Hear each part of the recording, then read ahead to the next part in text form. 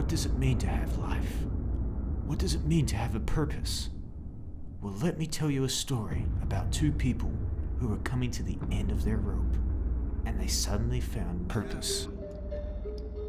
Yeah. We interrupt this program to bring you a oh.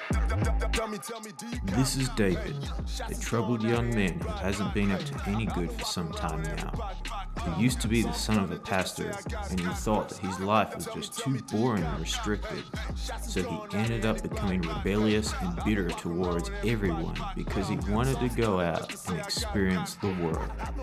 Well, look at where he is now alone, cold, and having to make a living on the street with crime and shady drug deals.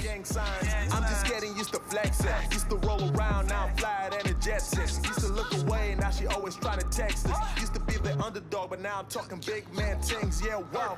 She just wanna get down. This is Rebecca, a young girl who has been left all alone for years after her parents abandoned her. She has had many troubles over time, such as abuse, abandonment, and more recently, her ex boyfriend who has not been treating her right and stole everything from her apartment when he left. Now she feels that there is no one that loves her and there is no purpose for her.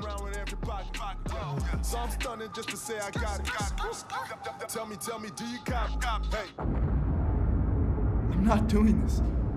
I'm done.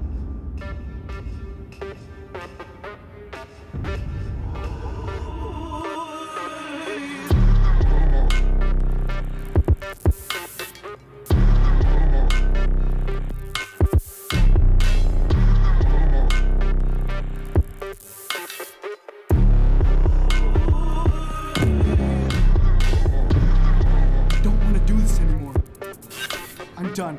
I'm out.